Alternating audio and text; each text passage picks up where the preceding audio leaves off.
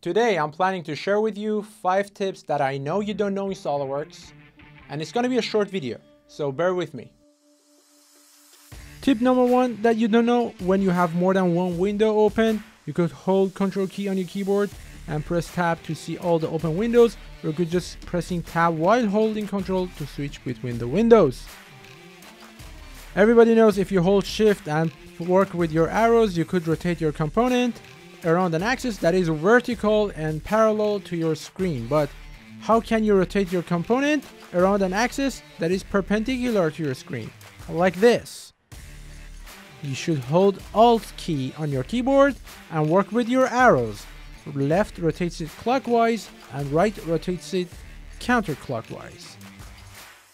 Okay, we all know that if you want to make a component transparent, you could go to the display and choose a color, go to the advanced and go to illumination, work with transparent amount and then do it transparent.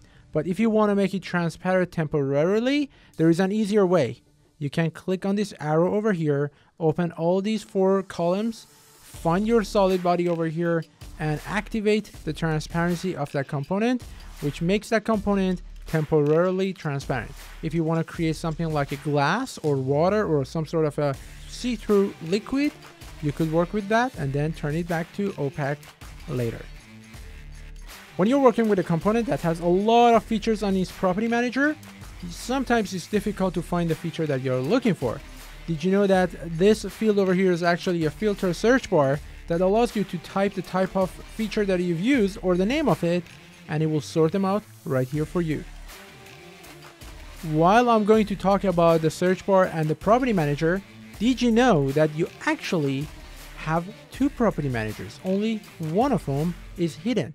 When you see this knob, you drag it down, you see your second property manager, which is the exact identical property manager as the one below.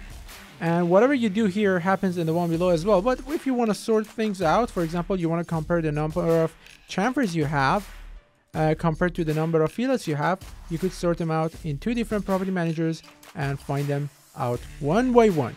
Let me know in the comment section below which of these 5 tips were new to you because I'm planning to post the next 5 probably next Friday. It's Friday for God's sake. And if you're new here, it's not all what I do, it's part of what I do next to the main content. So consider subscribing if you want to learn SOLIDWORKS for good. I'll see you next week.